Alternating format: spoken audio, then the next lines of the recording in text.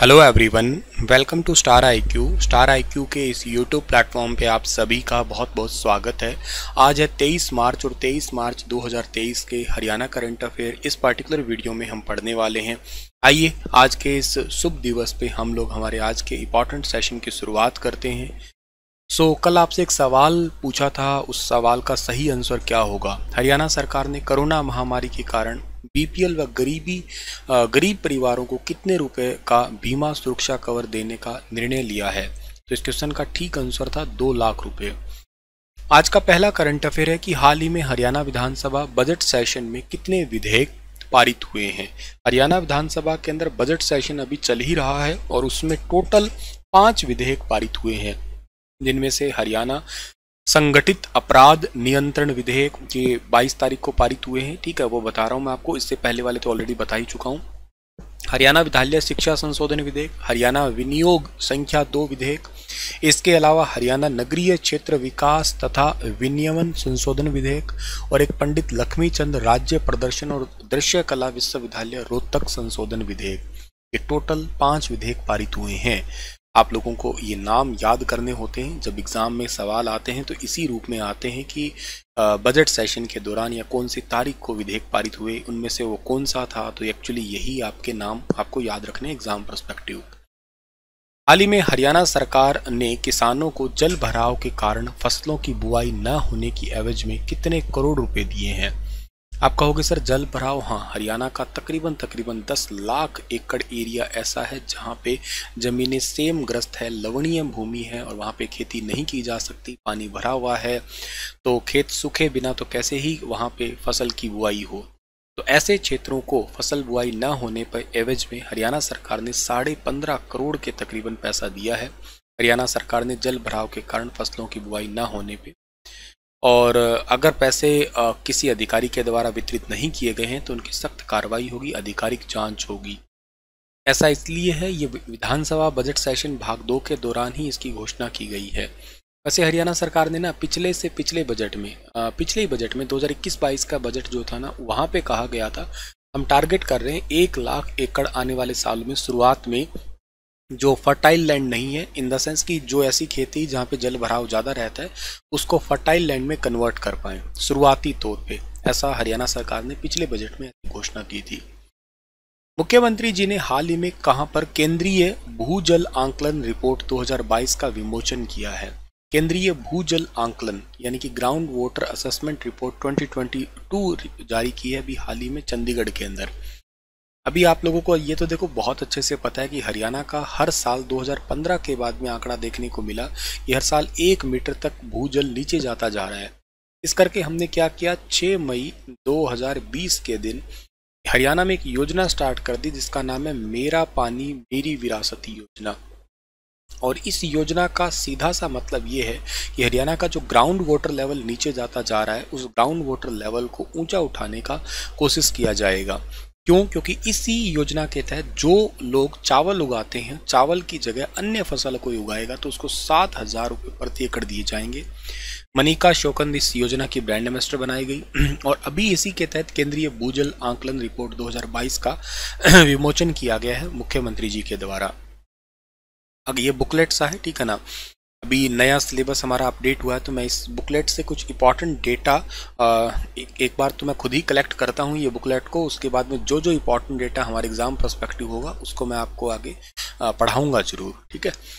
चलिए हाल ही में हरियाणा में जियो ट्रू 5G लॉन्च शहरों की संख्या बढ़कर कितनी हो गई है?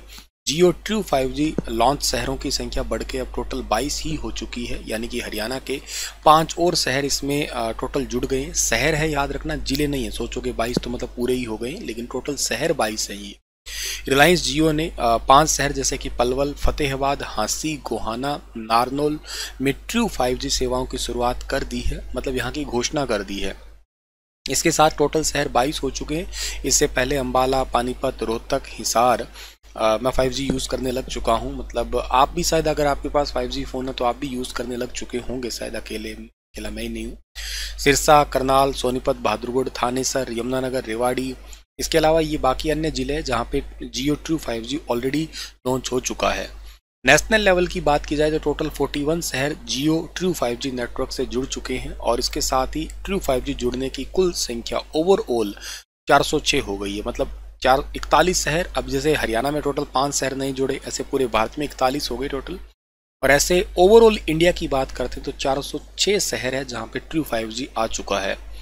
आप मुझसे पूछो, सर, सबसे पहले 5G कहाँ आया था? तो वो राज्य था 100 परसेंट वाला, इसका नाम है गुजरात। सबसे पहले इसकी लॉन्चिंग कब हुई थी? तो इसकी लॉन्चिंग 1 अक्टूबर 2022 को मोदी जी ने भारत के तेरह शहरों से की है, जिसमें से हरियाणा का गुरुग्राम था, याद रखना। और दुनिया में साउथ कोरिया में आया था, याद रखना, और 6G का सक्सेसफुल ट्रायल जापान कर चुका है। और कंपनी एयरटेल थी जो लाने वाली है, और वन जी कौन सी वन जी लाने वाली कंपनी थी एन ठीक है ना? निपन टेलीफोन टेलीग्राफ कंपनी ये जापान की थी 1979 के अराउंड आ गया था है ना? चलिए, हाल ही में पूजा मोर ने राष्ट्रीय पैरा चैंपियनशिप में कितने पदक अपने नाम किए हैं? पूजा मोर ने राष्ट्रीय चैंपियनशिप में टोटल पदक नाम किए हैं अपने तीन। महाराष्ट्र में रोहतक की ये बेटी छाई है, रोहतक की रहने वाली है पूजा मोर। और यहाँ पे तीन सालों से लगातार इन्होंने चैंपियनशिप जीती है, एशियाई खेलों के लिए क्वालिफाई कर लिया है। और यहाँ पे राष्ट्रीय पैरा चैंपियनशिप में तीन मेडल ये जीत चुकी है। सो, काफ़ी इंपॉर्टेंट है। पूजा मोर ने 400 मीटर दौड़ में रजत पदक 1500 मीटर दौड़ में रजत और लंबी कूद में रजत पदक जीतकर देश और हरियाणा का तो घर नाम रोशन किया ही है। लगातार तीन सालों से नेशनल चैंपियन रह चुकी है। 2021 में तीन गोल्ड मेडल जीते थे। 2022 में दो गोल्ड मेडल और एक रजत जीता था। इस साल तीन रजत पदक जीते हैं इन्होंने। हरियाणा के जो है ना झज्जर ज़िले के गाँव रेडूवास, हाल ही में हरियाणा मतलब अभी रह रही है रोहतक के अंदर, ठीक है ना? मतलब वैसे पैतृक क्षेत्र इनका जज्जर के गाँव रेडूवास का है, लेकिन रोहतक की निवासी है वर्तमान में ये, और राष्ट्रीय पैरा चैंपियनशिप में ये तीन मेडल जीते हैं। तीनों ही आपको पता लग गए हैं। सिल्वर मेडल सॉरी रजत मेडल है। हरियाणा बीज विकास निगम के चेयरमैन कौन बने हैं? हरियाणा बीज विकास निगम के चेयरमैन अभी हाल ही में बने हैं सुमित राणा। यानी कि ऑप्शन नंबर बी ठीक है इसका हमारा। सोनीपत का पहला पुलिस कमिश्नर। आपको याद है 25 दिसंबर की बात? 25 दिसंबर 2022 के दिन हरियाणा का चौथी पुलिस कमिश्नरी की घोषणा की गई और वो है सोनीपत। एक ऑलरेडी तीन चल रही है। इनमें से एक है गुरुग्राम, फरीदाबाद और पंचकुला। चौथी पुलिस कमिश्नरी याद रखना, B Satish Balan. Very very important चौथे पुलिस कमिश्नरी के पहले police commissioner B Satish Balan. चौथी पुलिस कमिश्नरी तो खैर सोनीपत हो गया, लेकिन हाँ एक बात ये याद रखना आप लोग कि ये हरियाणा का चौथा मेट्रोपॉलिटन डेवलपमेंट एरिया भी घोषणा हो चुकी है। तेईस फरवरी को अभी हाल ही में बजट में, तेईस फरवरी 2023 का जो बजट था उसमें। इसके अलावा गुरुग्राम, फरीदाबाद और पंचकुला ही मेट्रोपॉलिटन डेवलपमेंट एरिया थे। खेल विश्वविद्यालय हरियाणा के सोनीपत के अंदर, राई के अंदर, याद रखना आप लोग राई के खेल विश्वविद्यालय मतलब ये हरियाणा का पहला खेल विश्वविद्यालय इसके पहले कुलपति एस एस देसवाल, जो आईटीबीपी से रिटायर्ड हैं डायरेक्टर जनरल किस हरियाणवी फ़िल्म को छह महीने के लिए टैक्स फ्री किया? दादा लक्ष्मी को छह महीने के लिए टैक्स फ्री किया गया है। छत्तीसवें राष्ट्रीय खेलों में हरियाणा पदक तालिका में कौन से स्थान पर रहा? हरियाणा रहा पदक तालिका में तीसरे स्थान के ऊपर। किस शहर में पेरिस की तर्ज पर इंटरनेशनल मार्केट बनेगी? ये सोनीपत के गन्नौर के अंदर मार्केट बनेगी। याद रखना, सी ऑप्शन। कॉमनवेल्थ 2026 से किस खेल को बाहर कर दिया गया है? कॉमनवेल्थ 2026 से एक गेम है कुश्ती गेम को बाहर कर दिया। 2026 के जो गेम है ना, ये तेईसवें ओलंपिक, सॉरी, कॉमनवेल्थ इवेंट है और ये होंगे कहाँ पे? ये होने वाले हैं विक्टोरिया के अंदर। याद रखना, विक्टोरिया ऑस्ट्रेलिया में है। पहले हैमिल्टन में हुए थे 1930 के अंदर। हरियाणा पुलिस के द्वारा हर महीने कौन सा वार साइबर जागरूकता दिवस के रूप में मनाया जाता है? ये पहला बुधवार सेलिब्रेट किया जाता है। इसी के साथ ये सेशन समाप्त होता है। आपके लिए क्वेश्चन रहेगा कि निम्नलिखित में से कौन सा शब्द वेदों की शाखाओं को सीखने और पढ़ाने के विद्यालय के लिए प्रयोग किया जाता है। शाखा, चरना, रथ, यज्ञ। बताना इसके बारे में। मिलता हूँ आपको मैं अपनी अगली क्लास में। तब तक के लिए जय हिंद।